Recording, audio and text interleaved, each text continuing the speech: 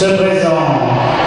Jury Rouge, grande équipe 17 ans et plus, Saint-Étienne.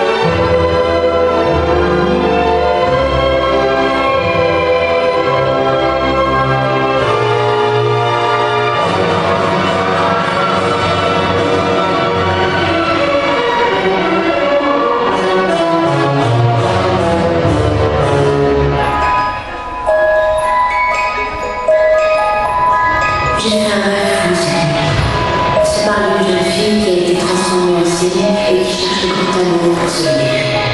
Son prince tombe amoureux d'une autre et... Elle se tue.